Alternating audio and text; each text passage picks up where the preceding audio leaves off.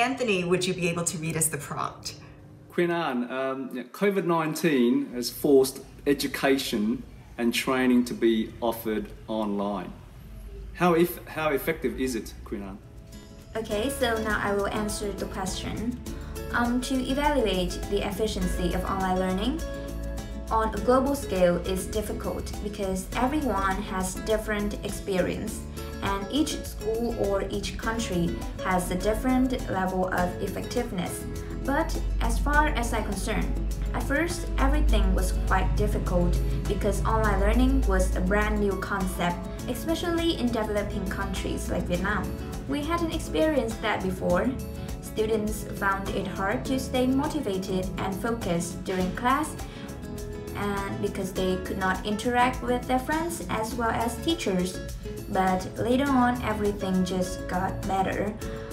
Um, this year, the average score to get into top university in Vietnam is 27 over 30, which is like the highest ever. Um, it is because we do not know when the pandemic will end, so staying self-disciplined, proactive, and trying to fit in with the situation is the only coping mechanism. And teachers also strive to find the best learning, uh, the best teaching methods for their students. I have an aunt who lives in Australia, and she said that teachers there utilize varieties of apps to engage her student in class activities and making her class um, as captivating as they are communicating face to face, like Google Classroom, Compass, Seesaw, Quizizz, WebEx, like a lot of apps.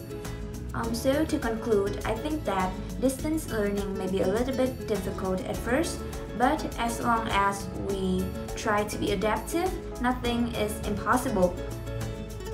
And I think that um, online learning should be widely promoted even if the pandemic is 100% controlled. Thank you for listening. Well, Quỳnh Anh, thank you for, for attempting that. You're very, very lucky to have our two guests today to comment on, on your performance. Uh, they, you know, they, they are wonderful established um, business entrepreneurs, investors, um, and just really, really famous. So, so uh, Anthony and Anh Sơn, do you have any feedback for Quỳnh Anh? What did you think about her performance just now? I think the, uh, her presentation or her answers are quite good. Um, if I were you, I would mix this with some personal experience. Uh, I would say that uh, what you said is uh, is right, but it's a little bit dry. So uh, a little bit uh, personal story, uh, personal experience uh, will make you connect better with the audience.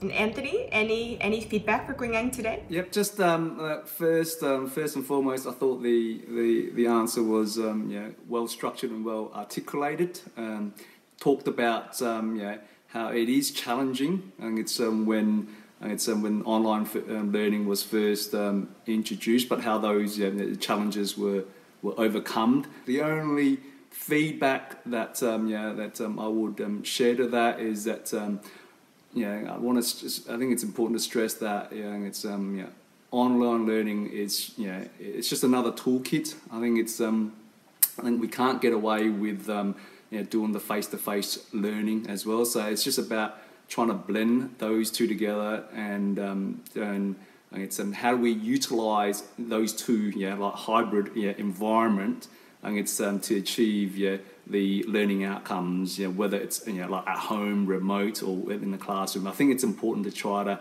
it's um, not lose the essence of the, the human centered yeah nature of learning as well Wonderful. Thank you, Anthony, and thank you, Anh Sơn. And Quỳnh I hope that you've had, you know, some, some sense worth of really valuable advice there.